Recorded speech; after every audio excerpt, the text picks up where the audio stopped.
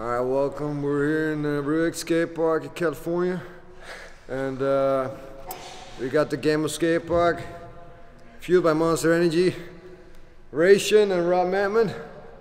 Russian Bug, bros. Guys, bros. Ooh, it's Rob. Scissors beats the paper, you know. Pam, pam, pam.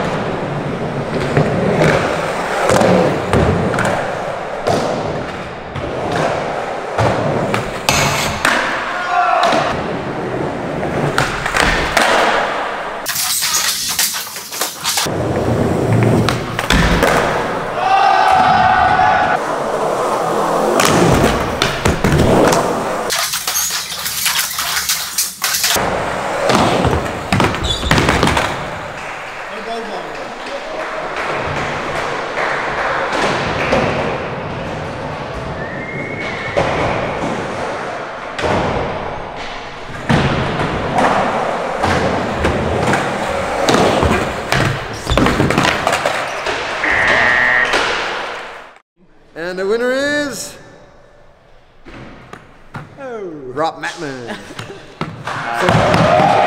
second-